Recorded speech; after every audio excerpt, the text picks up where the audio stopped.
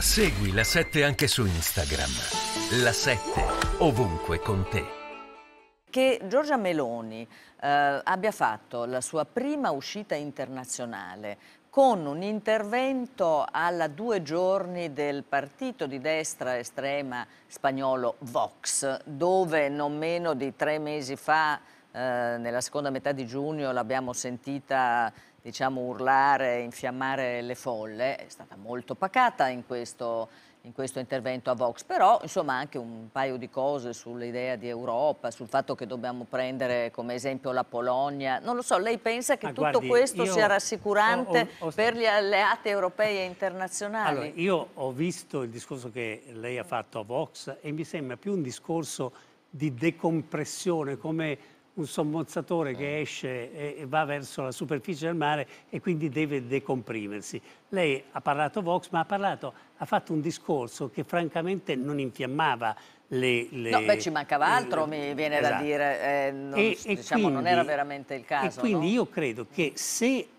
io non è che faccio l'esegeta di, di quello che fa la Meloni, però leggo e, e cerco di capire, anche perché quello che fa un manager normalmente è quello di, di capire la psicologia della gente e di giudicarla, perché dalla capacità della Certo. gente di gestire qualcosa dipende la sopravvivenza di un'azienda. Ecco, quello che io ho capito della Meloni è che lei ha un progetto di trasformazione della destra italiana, che è stata una destra a trazione berlusconiana per 20 anni oramai, o più, 25 anni, 30 quasi 30 anni, e trasformarla in una destra, destra-centro, centrodestra, chiamiamola come si vuole, eh, moderna, non ancorata a, oramai a retaggi che non ci sono più, ma una destra che possa presentarsi per un'alleanza con i cristiano-democratici, con i popolari a livello In europeo. Europa. E quindi io eh, giudico da quello che le ho sentito dire sulle cose concrete.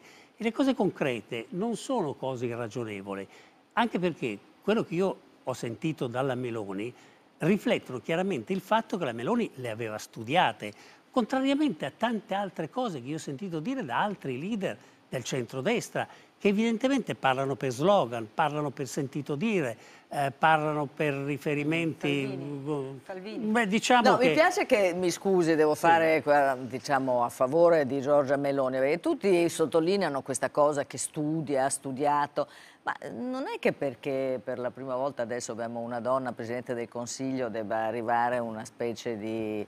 Non No, ma so, probabilmente perché eravamo di ignorantelle. No, Abbiamo voglio dire, Giorgia. Meloni è sempre E stata scu- le così, è sempre stata così. per- Quindi, per, per quanto riguarda per l'Europa, fortuna. per quanto riguarda l'Europa, guardi, i leader politici, per come li conosco io, hanno una profonda ammirazione per quelli che riescono a conquistare una, una quantità importante di voti. E quindi la prima cosa che quando si riuniscono eh, fra leader che sono stati votati, non leader che hanno un incarico diciamo, di tipo tecnico, è il riconoscimento del, della- del- del successo elettorale che hanno avuto. Quindi si riconoscono fra pari. Poi è chiaro che la Meloni ha degli orientamenti politici diversi, ma così come hanno fatto E su tanti questo hanno dei problemi eh, anche- Salvini e Berlusconi a riconoscere a Giorgia Meloni eh, il certo ruolo. dei Eh, eh, problemi, questo certo. diciamo eh, Ma Giorgia Meloni, con la dirlo. sua storia personale, col fatto di essere donna, col fatto di aver avuto il successo che ha avuto, devo dire tanto di cappello dal punto di vista personale.